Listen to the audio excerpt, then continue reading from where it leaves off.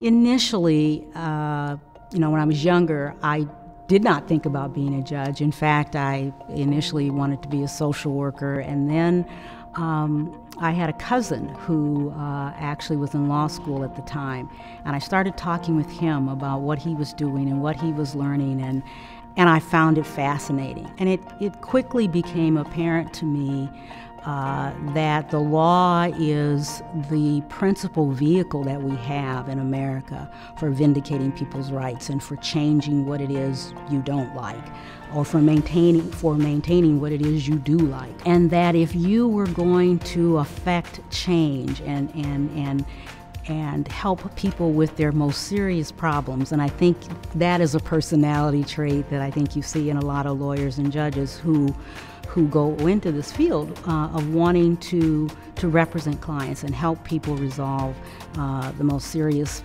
matters that they're dealing with. And there's a piece of that in social work, but you don't have that dynamic of actually being able to fundamentally uh, change the law and change people's reality.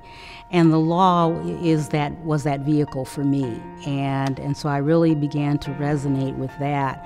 Uh, and again, it all started just from having some conversations with a, a cousin who happened to be in law school. Um, you know, the appellate piece of it for me, I, have told many people this, you wouldn't like what I do and what appellate judges do if you don't seriously like to write. I think you have to like to write to be a lawyer, period, because that is our bread and butter. That is, that is a, a skill set you have to have.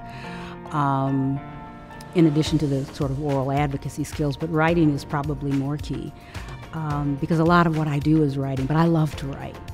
And uh, I love wrestling with complex problems. And, and that's our role in Supreme Court is to, to resolve the most complex constitutional, criminal, and civil matters that come before the state.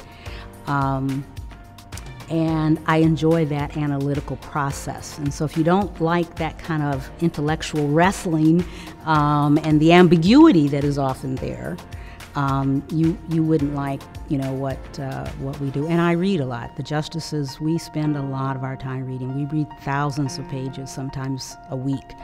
And so, if you're not one that loves to read and loves to dig in, you wouldn't want to be an appellate judge.